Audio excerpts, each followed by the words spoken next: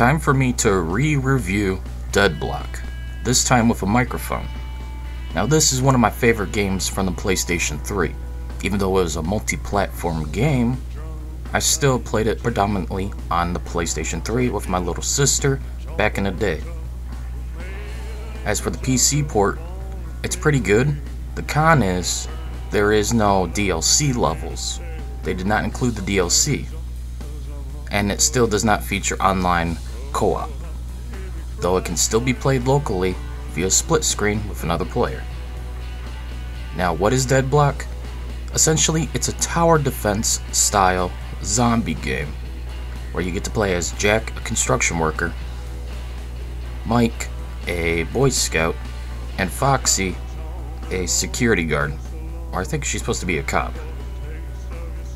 Each one coming with their own abilities, and each one moving a certain amount of speed and doing a certain amount of damage to the enemy. And each of their abilities can be utilized to help you survive each level.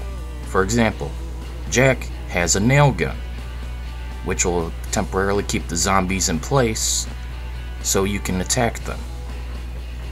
When it upgrades later on, it turns into a freeze gun, and every zombie hits now freezes solid and can be destroyed instantly. Mike, he gets a burger, which temporarily distracts the zombies so he can attack them or run away.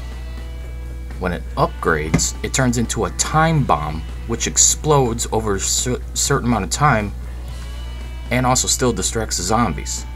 Foxy, she gets a handgun which can kill all zombies in the room, but only a small amount. And his upgraded gun, her upgraded gun, is a shotgun which can kill more. The game is simple.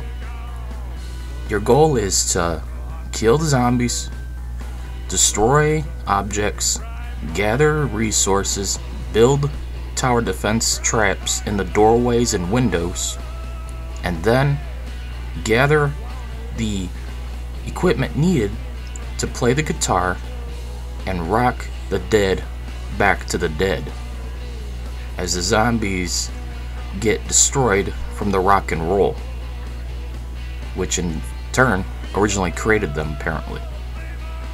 The game is simple, charming, and a whole lot of fun. Whichever platform you can try to play it on, it's enjoyable. The game was originally released in 2011 for the PS3 and 360 before coming to Windows in 2012 and pretty much the only place you can originally buy it was Amazon, I think. The game is developed in Unreal Engine 3, and it was originally made by Candy Gun Games and published by Digital Reality. Overall, the game is pretty much pretty good. I wholeheartedly recommend it with an easy thumbs up on the recommendation and 4 stars out of 5 for great. That's all. See ya.